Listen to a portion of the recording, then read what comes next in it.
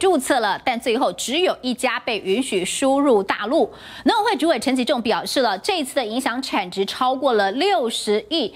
总统蔡英文和行政院长苏贞昌都有交代，不能影响到渔民的收入。带您掌握农委会的最新说明。中国不是只有针对台湾，是针对全世界书中的食品，所以有关切的部分呢，包括你看欧盟、美国、韩国、澳洲、加拿大、日本等。都有在世界贸易组织里面提出这样的一个关切的这样的一个行为，真的没办法过去。这等同是一个所谓的一个行政的措施里面造成的贸易障碍。那总统院长要求目标就是渔民的这一个收入不得到不能受影响。